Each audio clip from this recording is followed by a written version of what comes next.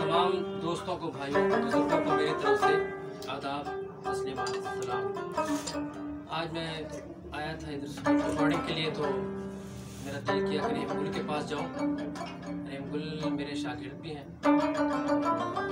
उनसे मेरी एक दोस्ती भी है दिली रगबत भी है।